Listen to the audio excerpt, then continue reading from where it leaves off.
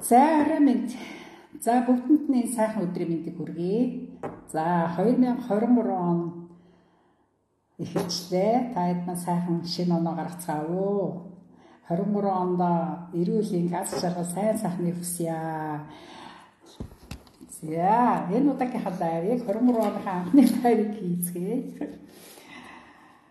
За сайхан дулаахан жил сайхан дулаахан байна Чехэд ерөнхийдөө хавар болсон юм шиг сайхан дулаахан энэ он ухтлаа тий сайхан жилийг гаглаа тий тэгээд яг ч н одоо анхныхаа лайв хийх гэж байна. За анх удаа намайг үзэж байгаа сонсож байгаа хүн байгаа бол намайг онгорч байна гэдэг а чехэд юу анхаарах уу блог YouTube блог хөтлж байна. Тэгээд өөрийнхөө мэдсэн, сурсан зүйлээ чехийн тухай сонирхож байгаа хүмүүстэйгээ нэг хуваалцдаг лээ. За, за энэ удаа за 2023 он гарч байгаа юм чинь мэдээж хэрэг 23 онд ямар ямар өөрчлөлтүүд орох тухай хүн болгон сонирхож байгаа бах. За тэгэхээр энэ тухай миний хамгийн бас эхний олж мэдсэн мэдээлэл бол байрны хөнгөлтийн асуудал яригдж байна.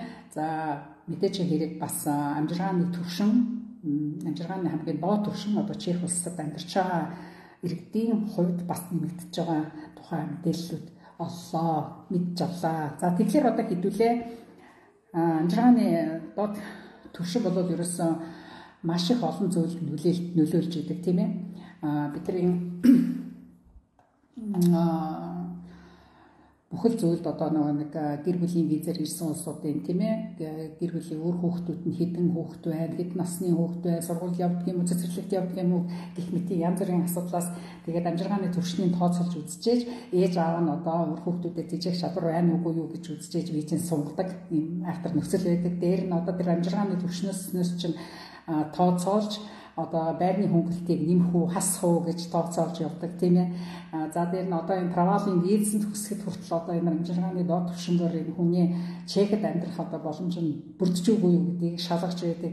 За банкны үрзэлтэй хүмүүст амжиргааны түвшингөөр нь одоо экзекуторын шийдвэрүүдээ гарч тооцоолж байдаг. Тэгэхээр ерөөс амжиргааны доод түвшин гэдэг чинь бол ерөөсөө бидний бүхэл амьдралд одоо эдний тогтоосон яг норматив одоо тоогоор бидэрт одоо нөлөөлж идэг одоо ийм асуудал байдаг юм аа. Энийг бол чегэд амьдарч байгаа хүмүүс бол маш сайн мэдж байгаа бах тийм ээ.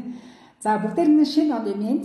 За шинэ оны мэдчилгээ дэвшүүлсэн та нартай маш их баярлалаа. Чатаар одоо тэр фэйсбүүкээр профилаар маш их мэдчилгээ авлаа. Та хэд мань та дахин та дахин зургийг их үзлээ. Маш гоё шинэ оноо уццгаасан байлээ. Бас баяртай харж илаа. Тий. За за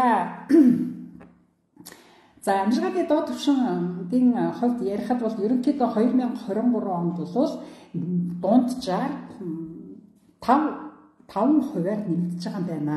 5 хувиар нэмэгдэж байгаа нь 5.2% гэсэн байна.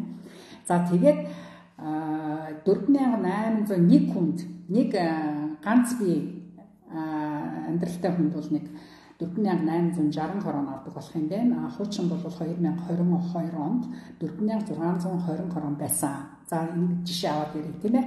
За гэр бүлийн хоёр хүний эхний хүнд гэж байгаа. За аавд нь бол жишээлбэл 22 онд 4250 короноор тооцоолж бодож исэн бол одоо 4470 короноор бодох юм байна. За тэгэхээр энэ чинь нэг зөрөө хэд гарч ийн үү? За нэг 250 короны зөрөө гарах нь биш 220 короны зөрөө нэмэгдэл авах нь байна. За дургаан асууба гэдэг чинь одоо ээж байж болж байна тийм ээ. За ээж дээр бол жишээлбэл гэр бүлийн хоёр дахь гишүүд бол хуучин 3840-оор бодож исэн бол одоо 4040 короноор бодох нэ. За ингээд хараад ахад ерөнхийдөө нэг амжилгааны доод төвшин бол 200 короноор нэмэгдэж байгаа юм байна. За тэргээр тэргээр тооцоогоо хийж явна гэсэн үг. За хүүхэд бол би хуучин оныхон лайваар бас хэлжсэн 6 нас хүртэлх хүүхэд бол нэг 2369 бол одоо 2480 корон болж байгаа. За 6-аас 15 насны хооронд бол 2900-аас 3050 корон гэж нэмэгдсэн. За оюутан буюу 15-аас 26 насны хүмүүст бол ерөнхийдөө 3320-аас 3490 короноор одоо нэмж байгаа. За эсцэжний минимум гэдэг чинь нэг дунджаар бол ерөнхийдөө бол яг дөрөвний хийснээр нэг 5 хувиар 5 5%-тэй 5 хувиар ерөнхийдөө нэмэгдэнэ. цалин ерөөсөө их сайн нэмэгдэхгүй байгаа нь бидэрт бол жоохон харамсалтай байна. Гэхдээ чекүүд чекүүдийн одоо эдийн засгаа барьж байгаа өмнөхийнхаа инфляцийг одоо энэ эдийн засгийн хямралын бодлого аюу барьж байгаа байдал тий ерөнхийдөө юм нөгөө нэг огцон одоо хүмүүсийн ардын амьдралыг ард түмнийхээ амьдралыг доош нугаач ухын тулд маш сайн барьж чадчих нь бол гэж ингэж харагдаад байгаа. Тэгээ тийм болохоор эдгээр инфляцийн одоо энэ эдийн засгийн хямралын үед ямар ч байсан одоо бүх юм дээр одоо ард иргэдийнхээ авах одоо нийгмийн халамжийн асуудал дээр бол ялцчгүй байн одоо нэмэлт өөрчлөлтүүдийг маш их ойр ойрхон хийж байгаа тайд маань анзаарч байгаа байх. Тийм үү? амжиргааны үнэхээр одоо бол амжиргааны төвшин одоо бас ингээд өөрхөн нэмсэн байна. Тэ? За за жишээлбэл За 2023 оны амжиргааны төвшөнд одоо даан дангу хүүхдтэй хүмүүс одоо онпед одоо ингээд материал өгдөг шүү дээ тий. Тэгэхээр одоо энэ гэр бүл одоо одоо хүүхдийнхаа визийг сонголтод ч юм уу эсвэл одоо гэр бүлээ дагсан нөхрийнхаа юм уу эхнэрийнхээ сонголтыг өгөхөд бол амжиргааны доод төвшөнд бид боддог. За тэгэхээр хэдүүлээ нэг жишээ ингээд за 6 настай нэг хүүхдтэй айлтг бол 6 хүртэлх нэг хүүхэдтэй айл за 6 нэг ширхэг за 6-аас 15 насны хүүхэдтэй хүүхэдтэй бол ингээд хоёр дахь хүүхэдтэй ингээд нэг ширхэг. За за оюут насны хүүхэд байхгүй. За тэгээ хоёр том хүн. Дунд дунджаар нэг 40 аав ээж хоёр нийлээд нэг 40 мянган тонны цалин авдаг болвол гэд ингээд бодоод үзье. За тэгэх юм болвол энэ айл церковь часть животного минимума 20 ерөнхийдөө бол 2 зууны 85% амжиргааны доод түвшнээс илүү орлоготой байна гэж ингэж үзэх нэ. За тэгэхээр энэ айлт бол ямар ч үсэн энэ 6 а ийм хоёр хүүхэдтэй 40-с дээш цалинтай 40 мянгаас дээш цалинтай айлт бол орлого боломжийн байна гэж үзэх юм шүү тийм ээ. Тэгэхээр энэс доош ороогүй амжиргааны доод түвшнээс доош ороогүй гэсэн үг байна. За за тий яг ийм айлыг жишээлбэл тийм ээ чинь та нарт жишээ ярьж өгөх гэдэг шүү дээ. Яг ийм айлн дээр 6 насны хүрээгүй жишээлбэл 4 настай нэг хүүхэдтэй за 8 настай нэг хүүхэдтэй гэж бодъё. Гэр бүлийн хоёр за дундаж цалин тэр хоёрын цалин одоо их багаар байдаг л доо. За жишээлбэл хоёулаа нийлээд 25 тий. За 25-аар байх юм. Энэ айл яадгүй гэхээр за яадгүй гэхээр 178 хувь нас доогор байна гэж. За тэгэхээр энэ айлын цалин нэмэгдэхгүй болвол одоо гэр бүлийн бие сонгогдохгүй ч юм уу, хүүхдийн бие сонгогдохгүй ч юм уу одоо ийм нөхцөл байх нэ. За уучлаарай чинь маш яралтай, маш чухал дуудлага орж ирээд байна чинь яас сэдэх юм.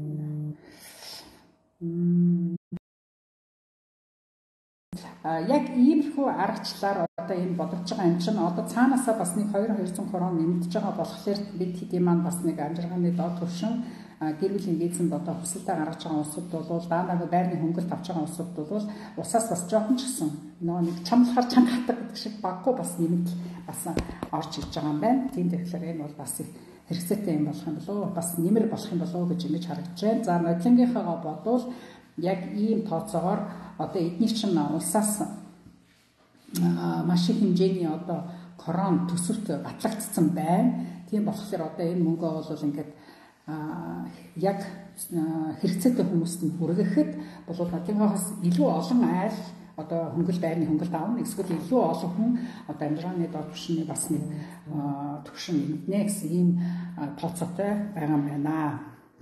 За За байрны хөнгөлтийн тал дээр за байрны хөнгөлтийн тал дээр бол та нар ерөнхийдөө бол одоо цалин хөлсөн багтай айлууд бол байрны хөнгөлтөд бол авдаг. За нийгмийн халамжийн нэг хэлбэр тий тэр бол байрны хөнгөлт гэхлээр. За тэр байрны хөнгөлтөн дээр бол урсгал засвар байрны засвар бол одоо тоог ус тийм ээ байрны үн тооцож үзээд нийт одоо энэ зардал нь 30 30%-аас дээш илүү гарчих юм бол ус тэр илүү зардлыг усаас хөнгөлт гэж өгдөг.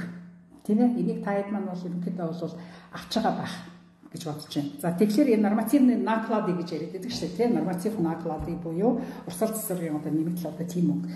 За Прага хотынхны хувьд бол том өөрчлөлт орох нь Прага бол яг орлого Прагт амьдарч байгаа хүмүүсийн цалин ерөнхийдөө их байдаг гэж хэдэн жил одоо тооцоолж тэр 30% биш эдгээр чинь 35%-аар одоо нормативны дадлуудыг тооцдог байсан бол одоо энэ жилээс эхлээд 2023 оноос эхлээд 1 сараас эхлээд мөн бусадтай адилхан бус бүх хотын бүх тосгоныхантай адилхан 2000 адилхан 30%-аар болдог болох нэ. Бүгд 30%-ийг авдаг болох юм. Тэгэхээр хуучин 35-аар болчихсон бол одоо 30-аар бодох. Тэгштэл хийжлээ. Прагийнхан гээд илүү илүү нэг 35%-аар илүү болгосон юм бол одоо байхгүй болох нь байна. За энэ бол нэг том өөрчлөлт болсон байна. За 8 төлдөггүй одоо жишээлбэл байр худалдаад авцсан юм уу эсвэл одоо орон сууц эзэмшлийн одоо хоршооны байранд амьдарч байгаа хүмүүс байж болж байна. Эсвэл одоо хувийн байртай хүмүүс байж болж байна тийм ээ. Эсвэл одоо харсан одоо юу хаата эзэмшдэг ч юм уу тийм хувийн байшин зуны амбар мамбартай тийм улсуудын ерөнхийдөө нормативны наадлууд бол ерөнхийдөө 16%-аар нэмэгдэн гэсэн байлээ. А энийг бол хуваараа байртай байгаа улсууд бол энийг таад маань яг тэр зах газар нь очоод сайн дэлгэрүүлж асуугаарай. Тэг энэ 16%-аар нэмэгдэн гэсэн ийм ойлголт явж байна. За тэгэхээр энэ яг жоохон ямар хэлбэрээр тий 80 төлдөг хүмүүстэй адилхан лидер маань бас одоо ийм улсын хөнгөлөлт бол авах тийм боломж гарч байгаа болов уу гэж ойлгож байгаа. Гэхдээ энийг сайн л авалж тодорхойлж асуугаарай. За тийм. Тэгэхээр хувийн байртай өөрөө хувийн байртай улсууд бол ийм асуудал бас гарах нь байна шүү. Өөрчлөлтүүд ерөөсөө маш их болох нь 23 онд бол ерөөсөө даамаг мөнгөний тал дээр бол маш их арга хэмжээнүүд авч байгаа юм байна шүү. энэ дэр хэдүүлээ жоохон фокусад анхаарлаа төвлөрүүлээд энэ дэр бас асуух юм байна. Асуугаад мэд газар нь очиод бүр зөвлөгөөг аваад орчуулагч нараа дагуулж очиод ингэж явна шүү хэдүүлээ тий. Тэгээд авах юм аваад тий гүйлж байгаа тэгэд хэрэгсэд юм авч чадах болчих юм. Тийм. За. За тэгэхээр За байрны хөнгөлт одоо байрны хөнгөлтөн дээр хэдүүлээ бодоод үзье.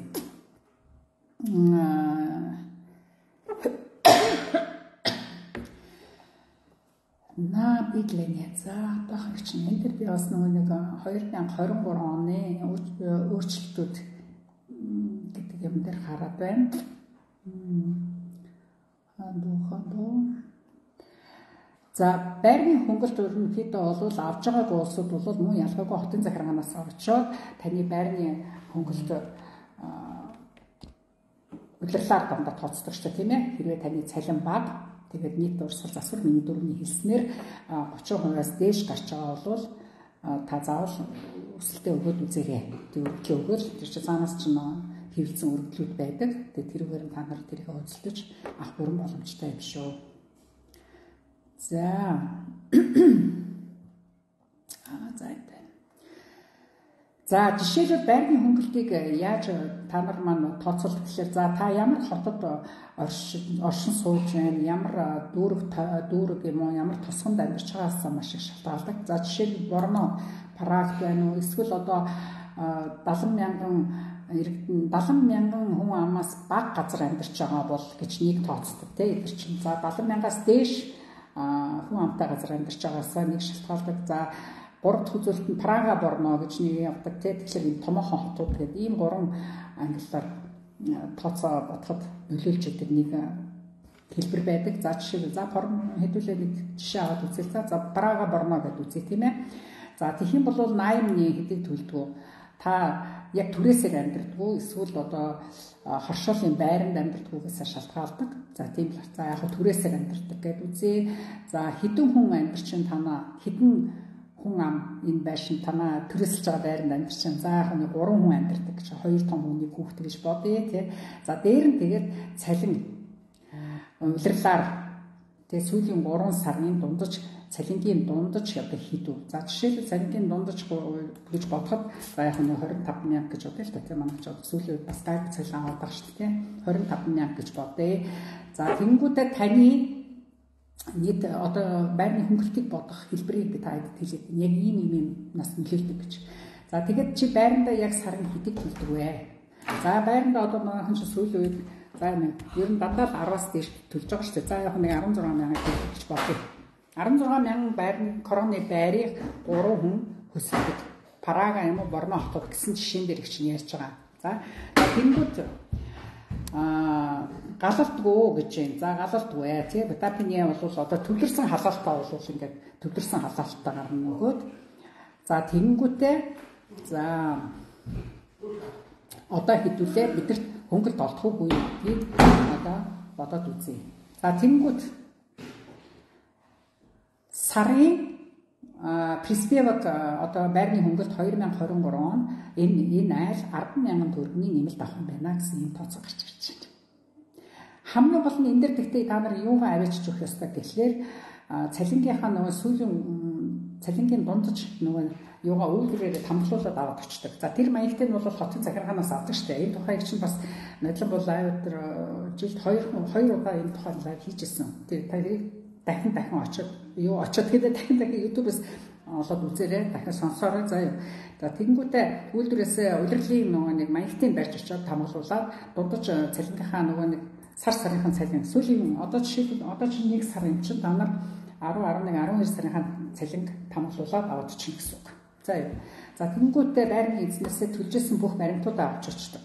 За сүүлийн 3 сар та нар хичнээн төрний байрны түрээс төлж байгааг чинь тэр баримтаагаа батлна. За тэргээр чинь шалгана. Дээр нь хідүүн хүн амьдарч байгааг чинь байрны гэрэн дээр чинь заасан байгаа. Байрны гэрэн дээр чинь За хоёр том хүн байгаа, хоёр хүүхэд байгаа ч юм уу тэрүүгээр чинь ингээд заасан байгаа. Тэрүүгээр чинь уншаад бид нар аа эдний ийм за тэгээд түрээс нь ийм нэрэл их өндөр түрээстэй юм байна. Дээр нь интас гэж аяг их төлдөг юм байна. За тэгвэл одоо эднийг нийт нэг зардал нь одоо 30%-аас илүү байгаа учраас одоо энэ улсаас тэтгэлэг олгоё гэсэн шийдвэр захиагаар та нар чи гэрээр чинь хүрээд ирдэг. За энэ тухай бол хууччул нь бол аягүй сайн мэдж байгаа хамгийн гол нь хуульчжуул маань юу анхаарах үгээр одоо 23 онд гарч байгаа өөрчлөлтөн дээр л та нар хотын цагаанаас очиод асуучих хэрэгтэй. Биднэрт одоо боломж магадгүй чи нодлон 8000-ыг авчихсан чинь энэ жил 9000-ыг авах боломж гарах бах. Мөнгө нэмж байгаа болохоор баг жоохон ч гэсэн нэмж байгаа болохоор тэрэн дээр жоохон өөрчлөлт орох бах. За тэгэнгүүтээ та хэд маань очиод энэ тухайга өргөдлөө өгөөд үйлдвэрээрээ бөглүүлэхээ бөглүүлээд байрны эзнээсээ авах юм аваад дээр нь тог усны хэрэглээний зардлын нэг юм маялт гэдэг бас нэг юм цаас өгдөг. Тэрэн дээр нь ингээд байрны эзнэрээр бичүүлнэ үү эсвэл өөрсдөө бичээд ингээд аваад очих. Ийм шаардлагатай байдаг. А хамгийн гол нь ягаан карт ч чинтэй байх хэвээр тийм ээ. Ягаан карт авч очиж шүү дээ. За ингэж хэдүүлээ бас нэг цалин бага байгаа учраас ийм их хөнгөлтүүд дээр илүү анхаарч ийм хөнгөлтүүдээ их сайн авах нэг зүйл зүйтэй байхаа гэж ингэж үзэж байна. За за саяны жишээн дээр одоо ингээд 3 том хүн байрны цалин 25 а дээр нь байрны төрөөс 16 болвол ингээд 10-ыг авна гэж ийм тооцоо гарлаа. За одоо тосгонд амьдарч байгаа бол гэсэн ганцхан жишээн дээр та хэдтэй хараад өгье. За 70 мянгаас доош хүн амтай тосгонд та хэрвээ амьдарч байгаа бол байрны түрээс төлдөг бол за 2 том хүн гэж бодъё. Аа 2 том хүн гэж бодъё. За цалин нэг 20 мянга гэж бодъё. За 2 мянга ч одоо цалинч та нар 20 мянгаас илүү л авах уу? За 40 мянга ч бод тий. Нэг хүнд 20 мянгаар цалин авдаг гэж бод тий. Тэгээ хоёр том хүн амьдардаг. За байрны түрээс бол яг нэг 15 мянган цаас за 12 мянган цаас төлдөг гэж бод тий. Хоёр том хүн чинь арай бага квадрат метр байранд амьдрах байх л та тийм ээ. За за тэнгүүтээ хэдүүлээ тог усанд хэдэг төлдөг. За жишээлбэл Ветапины халаалт эдэрт бол яг нэг 1500 урчилгаа төлдөг гэж бодоход одоо та улсаас хэдэн төгрөг авах вэ? Улсаас та зөвхөн 1500 хорооны нэмэлт авах вэ? За тэгэхээр энэ дээр юу харагдчих юм гэхлээр ердөө цалин өндөр байх тусам мэдээж хэрэг те таны байрны хөнгөлт багасч чинь эрс багасчлаа тийм ээ. Хүн ам нь цөөхөн цалин өндөр байхад бол ерөнхийдөө байрны хөнгөлт бол баг олдохгүй тал руугаа хэлбэж гэсэн үг шүү дээ тийм ээ. А яг нь энэ дээр чинь өшөө олон одоо 3 2 том хүн 3 хүүхэдтэй гэдэг болоо явчих юм бол бас өөрчлөлт гараад ирнэ мэдээж ирэх. Тийм ээ. Мэдээж өөрчлөлт гараад ирнэ. За 4 3 4 хүүхэдтэй гэж бодоход өөрчлөлт мэдээж орно. Тийм. За тэгэхээр ийм мэдээхэн юмыг хэдүүлээ одоо он гараад одоо дандаа нөгөө нэг улирал улирлаар нь буцаа олголтыг өгдөг штэ. Одоо жишээлбэл та нар 10 11 12 сарын аваагүй бол одоо түүнийг өгдлийг өгч болно гэсэн гол нь та хэд чинь байрандаа хамгийн багадаа 6 сараас дээш амьдарсан байх хэвээр. Тэрнээс нь 3 сар амьдарсан бол бас өгөхгүй. Энийг бас та хэд мэдэх хэвээр. А доктор сурчтай нэг байранд байсан бол а бас их зүгээр гэдэг юм байлээ. Тэрнээс биш байр байр ингээд нүгээ тисэд явдаг бол бас ийм юм тамрахтад бас хэцүү шүү. Тийм болохоор энэ шинэ ирж байгаа хүмүүс маань энэ дээр бас харах нэг зүйтэй байдаг ахаа. Зүйтэй байх шүү хэвлээ. За За дараагийн өөрчлөлт бас юу байна вэ гэхлээр ажилгүйдлийн нөгөө нэг ажилгүй болох тэтгэмж гэж байдаг шүү дээ тий. За та хэрвээ ингээд ажилгүй болох юм бол улсаас одоо наснаас нь шалтгаалаад нэг 6-аас 8 сарын хугацаанд улсаас тэтгэмж авдаг. Тий. Энийг бол улсаас тэтгэмж авдаг. Тий. За тэгэнгүүтээ За энэ дээр бол бас э, хөрхөн өөрчлөлт бол бас байна гэж бичсэн байлээ. Аа тэгэхээр энэ дээр энэ өөрчлөлт бол а юунаас шалтгаалгүй гэхээр та өөрөө халагдсан уу? Эсвэл ажил олгогч таныг халсан уу? Та тохиролцоогоор халагдав уу? Эсвэл бол одоо янз бүрийн онцгой шалтгаанаар халагдав уу? Арх ууж агаад ажлаас алдагдсан уу? Гэдгээс чинь маш их шалтгаалгаа. За тэгэхээр за энэ юунаас за ажил олгогч халсан гэж нөхцөл дээр би таад маань харуулж өгье. Юу жишээ ярьж өгье. Тэгэхээр за нэг 40 настай хүн наснаас шалтгаалдаг гэж би хэлсэн шүү дээ тийм ээ. За нэг 40 настай хүн дундаж цалиныг 25-ыг авч ирсэн бол та улсаас 4-өөс 5 сарын хугацаанд 16 мянган авна. 6-аас 7 сарын хугацаанд 12500 авна нийтдээ 8 сарын тэтгэмж авнаа гэж байна. Тэгэхээр энэ дээр аягүй хөрчлөлт орсон байгаа шүү. Тийм байгааз. Хуучин бол 50 наснаас дээш за за энэ чинь 40 биш. За би 55 гэд та бодоод үзье. Яг ижлийн нөхцөл 55 гэд. За тэнгууд 55 болгочонгууд хараа ажилгүйдлийн тэтгэмжийг 8-аас 14 сарын хугацаанд авна гэсэн байж бүр амар хэмэгдсэн маа жилийн. Би одоо буруу хараагүй яахахгүй тийм байна аюу сайн нэгдсэн байгаа юм байна шүү. За тэгэхээр эхний 4 4-өөс 5 сар бол 16 мянган крон авах юм байна. 6-аас 7 сарын хугацаанд 12500 авах юм байна. Тэгээд 8-аас 14 сарын хугацаанд 11250 крон авах юм байна. За тэгэхээр ажилгүйдлийн одоо энэ нэмэгдлийг бол хэдүүлээ бас нэг travala баан баангуу одоо удаан хугацааныхаа визэг авсан хүмүүсүүд маань бол хөлбөрийн давчин дээр очиж бүртгүүлдэг. Тэгээ подбор незамеснамости гэдэг хүсэлтэд өгдөг, ажилгүй болсноо мэдэгддэг. За тэгээд энэ мөнгөний хүсэлтийг өгөхөд та халахтаа авчиж өгөөд тэгээд энэ хүсэлтээ өгөхөд танд ийм 4-өөс 14 сарын хугацаанд наснаас чинь шалтгаалаад энэ мөнгөний хэмжээ хэлбэлцэж ингээд бас мөнгө авнаа. Тэгээд яг энэ хугацаанд та эдий чинь бол хөдөлмөрийн төвч зүгээр за дараагийн ажил хурдан ор ийм газар очиж бүртгүүлээд ийм газар бүртгүүлээд иргээл ерөөсөй байнга дууддаг. Тэр дуудаж байгаа нөхцөлд нь заавал очиж одоо бүртгүүлж одоо их дуулууртай байхгүй бол бас хасагдах юм нөхцөл байдаг юм шүү. За тэгэхээр та хэд маань бас хасахдахгүйгээр улсаас бас нэг ядаж даатгалаа төлүүлээд энэ мөнгө зогссон дууссан ч байсан гэсэн хэрвээ ажил олоогүй бол заавал юу яах хэрэгтэй шүү. Ядаж даатгалаа төлүүлээд эвиденцтэй бүртгэлтэй хэвээрээ байх хэрэгтэй. Яг мөнгө чинь зогссон ч гэсэн ВСП даатгалыг чинь бол улсаас төлөөд явдаг учраас очиж бүртгэлтэй ингэж яах. Одоо холбоотой байж байгаа хэрэгтэй. Дуудсан цагт нь та нар очоогүй өдр тийм асуудал гарах юм бол та энэс хасагдаад зогсохгүй юу яа?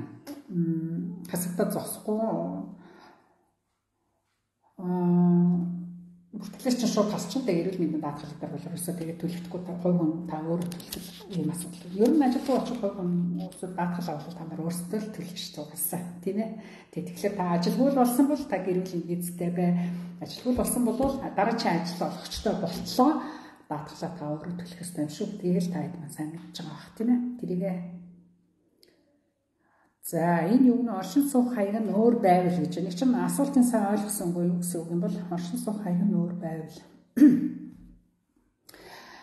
А крис юу травала адрес гэдэг яриад байдаг шүү дээ. Одоо яг нь байнга оршин суух хаяг одоо онкод бүртгүүлсэн хаягаар байрны гэрээ байгаа ч гэсэн та одоо жишээл ажлын нөхцлөөр практ ажиллаад а жинхэнэ гэрээ чинь хаяг жишээлбэл борноод байх юм бол Тийм ээ. Яг байр төрөлсөлжсэн жинхэнэ юуныхаа хаягаар л та тэтгэмж аав. Тэрнээс correspondence-ны адресаар бол биш шүү. Яг үндсэн амьдарч байгаа хаягаар л та мөнгө төргөө хөцөлдөх боломж гарна шүү. За энийг бол ойлгомжтой бах тийм үү. За. За тэгэхээр ажилгүйдлийн одоо мөнгөний тэтгэмж ажилгүйдлийн хугацаа бол маш их нэмэгдсэн байна. Энийг бол та хэд маань хөтөлбөрийн товчон дээр очиод, ушаад прац дээр очиод энийгээ илүү дэлгэрэнгүй мэдээлэл авч одоо лавлгаа аваарай. Яг одоо та ажилтгүй болж байгаа бол тий ажил хайж байгаа бол тэгээд ерөнхийдөө 23 оны 1 сараас одоо жишээ гэртээ суугаад эхэлсэн бол таны боломж чинь одоо хуучин бол ерөөсөө 6-аас 8 сар байсан шүү дээ. Тэгсэн чинь одоо тэр нь нэмэгдээд дээр нь мөнгө нэмэгдсэн байна гэдгийг та хэд маань бас ойлгоод авчих болох байхаа. За энийг тэгээд хамгийн гол нь лавлаараа гэдэг шүү дээ. Сайн лавлна очино. Тэ. За тийм учиртай юм шүү хэдүүлээ. За. За тэгэхээр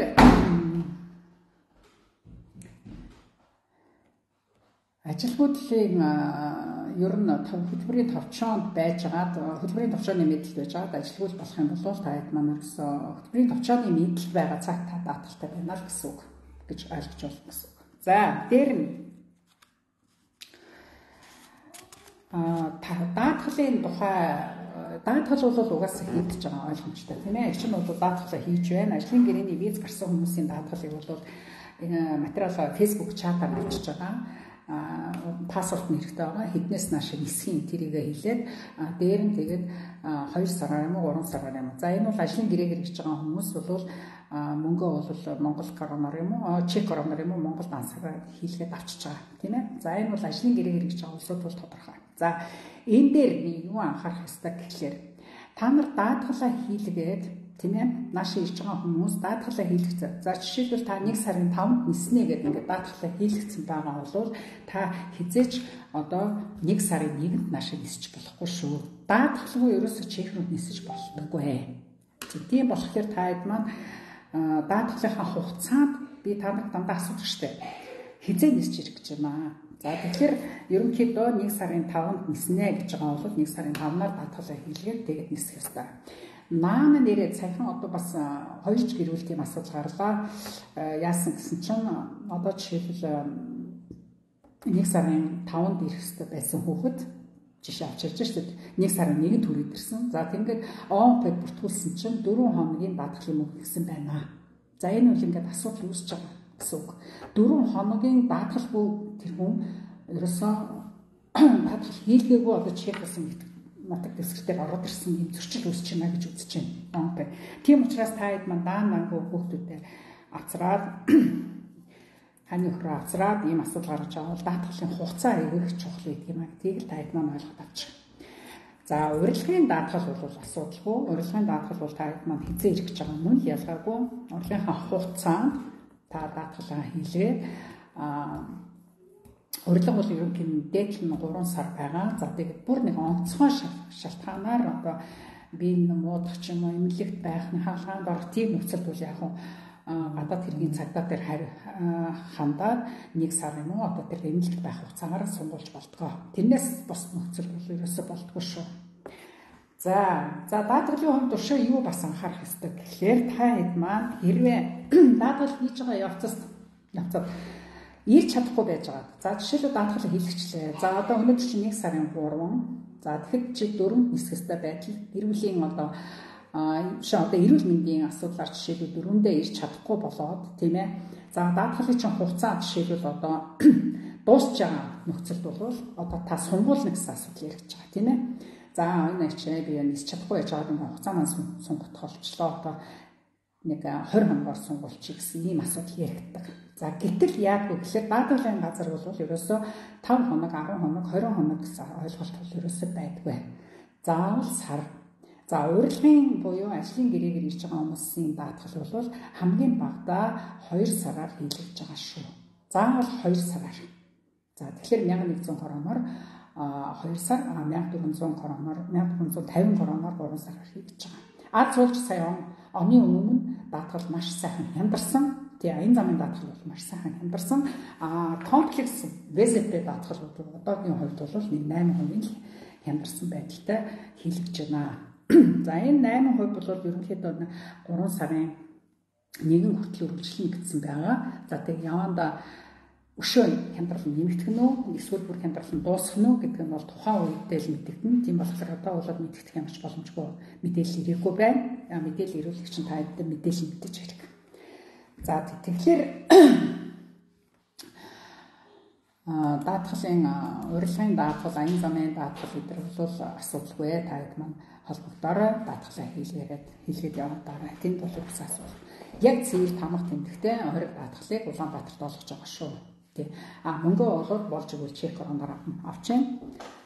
А юун дээр бол бүр чехэд танил тал байхгүй бол Монгол Монголын дансанд бас хийж болж байгаа. За энийг бол та хэд маань бол ерөнхийдөө ойлгосон байх тийм ээ. За хүүхдийн комплекс даатгалын хувьд бол одоо энэ дэр ийм юм асуудал зөндөө яригдж байна. За юу байна гэхлээр одоо би ээж аав травал болох гэдэг юм аа. За гэтэл одоо бүрээс 2 сарын дараа би ингээд травал болох жохоор би хүүхдтэй одоо жилийн травал хийлгмээргүй байна гэсэн жилийн одоо даатгал хийлгмээр байна гэсэн ийм асуудал яригдж байгаа. За гэтэл за энэ дээр та хэд маань юу мэдэх ёстой гэхлээр 0-оос 1 насны хүүхэд бол даатгал заавал та нар хүүхд за хүүхэд төрж байгаа хүмүүс жишээлбэл төрсөн шууд хүүхэд бол эхлээд 2 сар бол ВСП-ийн төв дээр очиод та нар 2 сарынхаа даатгалыг 4612 кроноор 4100 кроноор хэмжигчдэг. За тэнгуү та 2 сар дуусангууд заавал жилээр ВСП комплекс хийлгэж байгаа. Тэр бол ерөөсөө аав ээж нь 2 сарын дараа травал болон 5 сарын дараа травал болох гэж байгаа. Яг тэр хугацааг ингээд жоохон төхүүлээд хийчи гэдэр гэсэн тийм ойлголт бол ерөөсөө байхгүй байгаа шүү. Тэр бол 0-оос 1 насны хүүхдэд ярьж байна. За нэг наснаас дээш насны хүүхдэд бол ээж аав нь травал болох гэж байгаа бол ВСП даатгалын хугацаа ерөнхийдөө та нар бас л ОМП ялгаагүй жилээс жил юм уу 2 жилээр шаардна. Тэрийг бол ОМП-гээс та нар хүүхдээ хэдэн сараар даатгах уу гэдгийг авлаад асууж бүрэн боломжтой. За тэнгуүдээ 2 за нэг жилээр даатгуулаад магадгүй 6 сарын мод 7 сарын дараа ээж нь юм аав дараал болсон нөхцөл тэр хүүхэд одоо мэдээж яриг гэр бүлийн нэг гişин дараал болчихж байгаа юм чинь үнгүй даатгална гэсэн асуу улсаас даатгалын мөнгө төлөвлөдөн гэсэн асуудал яригдсан шүү дээ. Тэнгүүтээ энэ дэр яаж юм гэхэлэр BCP-ийн төв дээр очоод ээж аавын травмалыг яг яг үнэхээр одоо үнэлхэн дээр травала гэдэг жинхэнэ яган картаа барьж очоод яган карт нь бүр хэвлэгдээд гарцсны дараа та нар хүүхдээ Тарвал хүснэ. Хүүхдийнхаа байнгын эзэг хүснэ шүү дээ мэдээж хэрэг тийм ээ.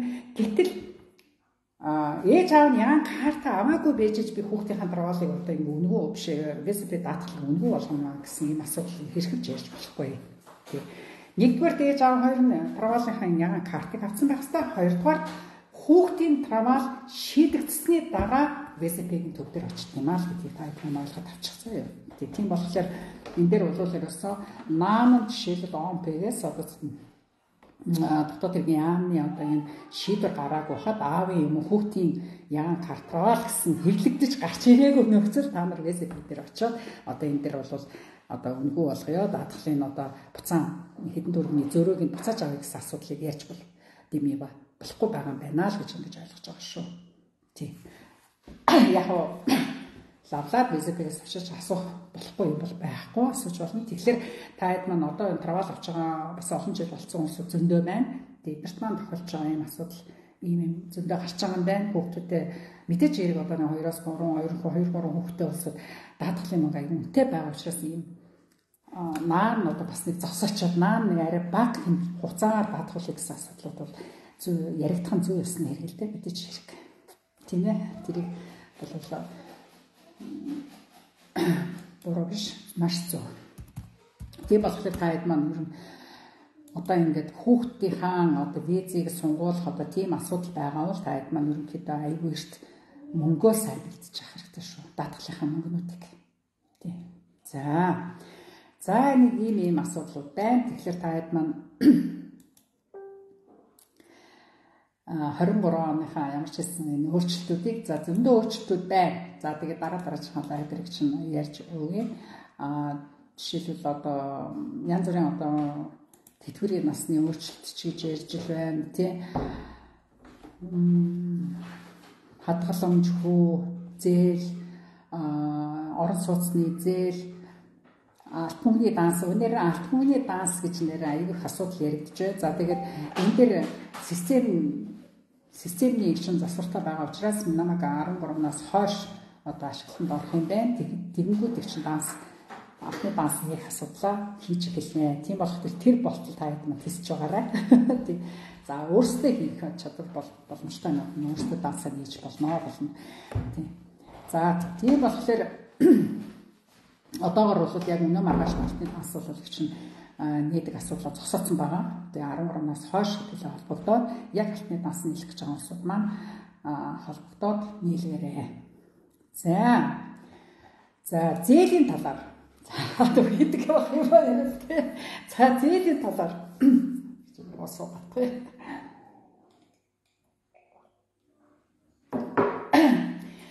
За банкны зээл бол гаргахын хувьд бол үргэлжилж байгаа. Банкнд бол ерөнхийдөө бол зээл хүсэж байгаа улсууд маань таад маань хасхрууга бити оруулж байгаараа нэгдүгээр хоёрдугаар өөрсдөө очиж хан мөрөгчөөд дараа нь болохгүй бүтэхгүй болцсон хойноо дагчтай хандах юм бол би бол системээр бол орхолж чадахгүй шүү гэдгийг хэлэх нь хэцүүтэй байна. Тий. А үнэхээр яг яг зээл хүсэж байгаа бол анхнаасаа ингээд хүсээд болохгүй бүтэхгүйгээ мэдчихээд тэгээд системтэй хүсэлт гараад ингээд явуулж байна. Яг тэгвэл компаниар дамжуулах хувь хүн өөрөө очих бас нэг компаниар дамжуулна гэдэг чинь нэг ясны итгэмжлэл гаргаж ийн гэсэн үг байгаа учраас би энэ дээр бас илүү зээл гараад юм л гэж ингэж хараад байгаа. Тийм болохоор та хэд маань чегэд ирээд дор хаяж 6 сар ажил 6 сараас дээш доктор сууршилтаа нэг үйлдвэртэй анхаарал нэг үйлдвэртэй ажилласан хүмүүсийг бол хүсэл гаргаж болно. А энэ дээр хамгийн гол нь та хэд маань би танаас юу хүсэх вэ гэхээр хамгийн гол нь та нар родны числоо хамгийн гол нь авсан байх хэрэгтэй. Чекийн бүртгэлийн дугаарыг авсан байх хэрэгтэй. Өнөөдөр чекэд ирээд 6 сар болоо жил болсон хэрнээ чекийн бүртгэлийн дугаараа аваагүй байгаа бол та ямарваа нэг асуудал төрсний гэрчлэгээнд ч юм уу эсвэл овг нэр зөрсөн ч юм уу эсвэл янз бүрийн эсвэл овгийн нэхэлж өчөөд нэрийн дараа бичсэн одоо ийм аахар сахар юмнаас болоод чиний родны числоо гаргах юм байлаа шүү. Тийм учраас он педер очиод дахиж хүсэлт бичиж өгөөд дээр нь захиалт авч өгчөөрэй. За тэгээд бүр болохгүй бол төрсний гэрчлэгээгээ орчуулад аваачих жагаар. Родны числоо гараагүй маш их удалсан хүмүүс бол ер нь тэр л аюу зөв арга юм байлаа шүү. Родны числоогоо дахин орчуулж ажиллаж байгаа хэрэгтэй. Тий. Тэгжээж энэ асуудал нааш чааш нь болноо.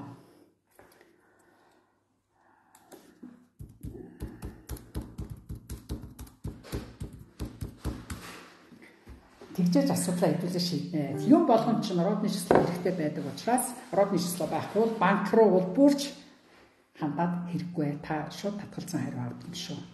Тий. За. За нэг комент бичсэн. За travel Монголоос хүүхдэд татхаар бол хүүхдийн даатгал яадаг юм бол хичээ гинэ. За энэ бас л ийм асуудал. За тэгэхээр аав travel болцсон хүүхдэд татгаж байгаа юм чинь хүүхд гэр бүлийн виз хүсэж байгаа тийм ээ. Гэр бүлийн виз хүсэж байгаа учраас аав нь travaл байлаа ч гэсэн чи хүүхдтэй даатгалаа хийлгэн. Ирцэн хойно travaл нь бүтцсний дараа одоо тэр зөрүү мөнгө авах талаар тэрвээс бедэр шаа олно. Ингэж ойлгож байгаа шүү. Аа тэггүй болохоор гэр бүлийн виз хүсэж байгаа хүүхэд аав нь яг travaл гээд тэгээ ВСП-гээс гэхдээ энийг та хэд манд бас лавлж асуугаарай. ВСП төдөр очоод юу шээ ОП-гээс Жомбоос асуух хэрэгтэй. Гэр бүлийн бизнесийн материалаа та нар хэлж байгаа. Би одоо заавал хүүхдтэй даатгах. Ерөнхийдөө бол яадаг вэ гэхээр сайн жоохон чимээг үлдээ. Ерөнхийдөө даатгал яадаг вэ гэхлээр тэр чин зөвшөөрөгдсөний дараа даатгал ОМП-г зөвшөөрөл гарсны дараа ирж даатгуулаа хийлгээд паспортн дээр наалгаад аваад яваарай гэж хэлдэг штеп. Тийм болохоор таад маань маань нь одоо материал өгөхдөө жишээлбэл ВСП-ийн даатгалыг хийлэхгүй шүү дээ. Үнэхээр танаа хүүхдийг чехэд авах авлаа бид нар зөвшөөрлөө гингүүд элчин та нар ууцтаад за хүүхдээ хүүхдийн чинь виз гарчлаа одоо даатгалыг хийлгээд автраад паспорт аваарай виз дарсан паспортыг аваарай гэж хэлдэг учраас заавал даатгалд очих хэрэгтэй болно. Тэрнээс биш би траваал юм чинь миний хүүхд траваал байх ёсгүй би даатгал хийх ёсгүй ч гэдэг юм уу тийм асуудал бол одоо бол яриад нэмэрхүү болов гэж бодож байна. Гэхдээ энийг бас элчин рүү яриад та нар Монголоор Монгол хүмүүсийн ажиллаж байгаа асуулах болохгүй юм бол байхгүй. Тий. Элчин рүү нэг л давж асуугаад ерөнхийдөө бол батлан дандаа хийлгээд л авчирч байгаа болов уу гэж бодож байна.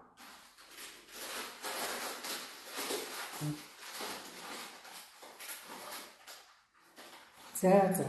За за за энэ удаагийнхаа лайвыг ингээд өдөрлөө. Тийм тийм болохоор За гэр бүлийн нэгтгэлээр ирж байгаа хүн 4 сарын даатгал хэдэр хийх хичээг нэ. Гэр бүлийн нэгтгэлээр ирж байгаа хүн ер нь ямар ч даатгал, ер нь ямар ч даатгал байна шүү дээ. Насны шалтгаан, наснаас их шалтгаална. За хугацаанаас шалтгаална, тийм ээ.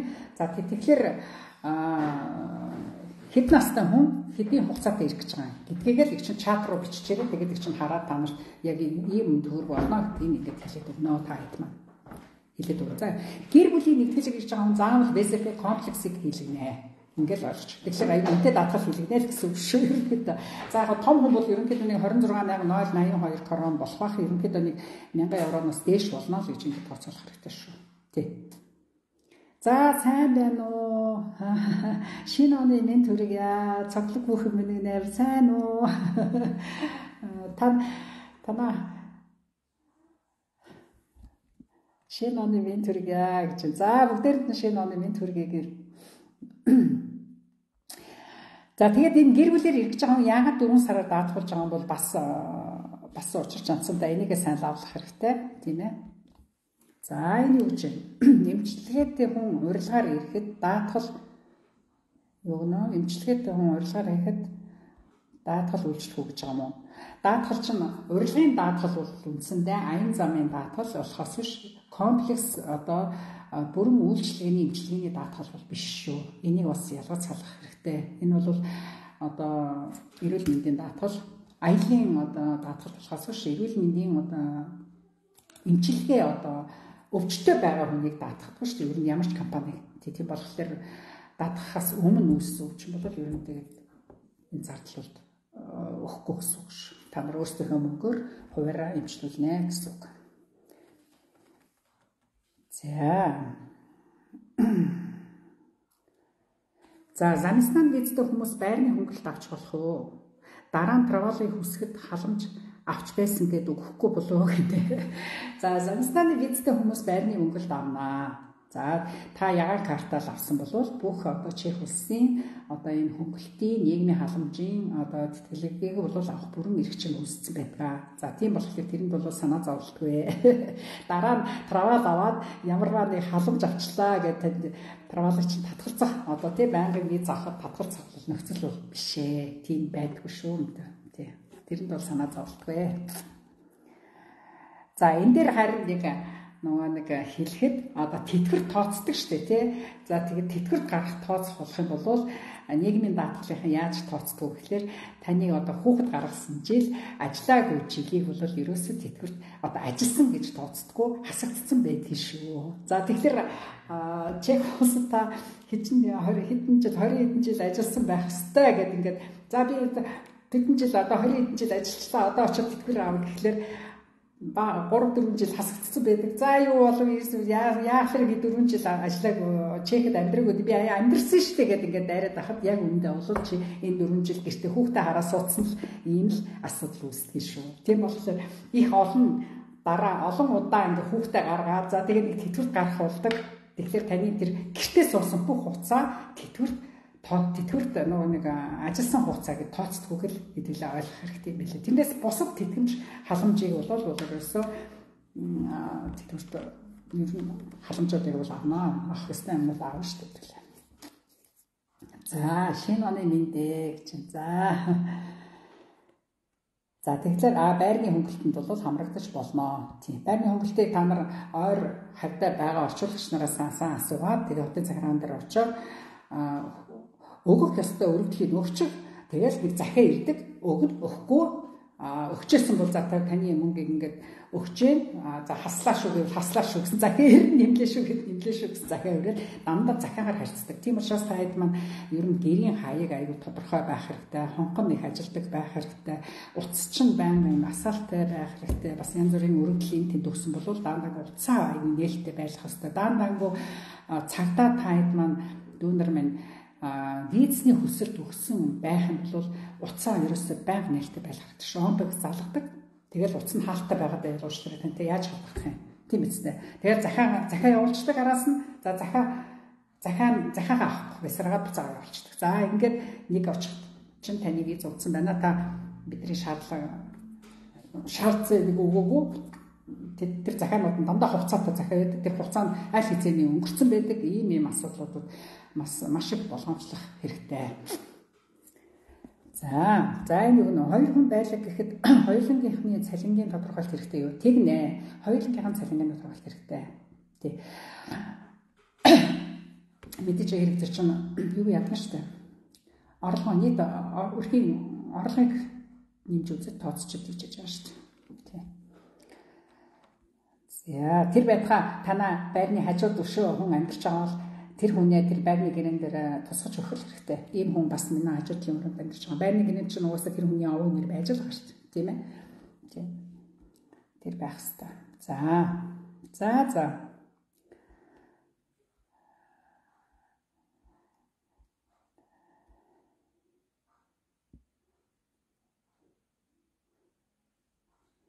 имчилгээтэй хүн урилгаар ашигладаг байгаа байхгүй. Тэгэхээр имчилгээтэй хүн ер нь урилгаар ихэд их боломж давхар даатгалсан олон улсын даатгалсан хийлгсэн одоо их баталгаатай юм хийлгээрээ дээ. Тэгвэл энд да яг имчилгээний даатгал бол хамрагдахгүй байдаг. Тэгээд янз бүрийн асуудал гараад энэ нэмлэгт хэрэглэх бөөн мөнгө зардлаар шүү. Энэ чинь юм аюунтай штэ Европт тийм.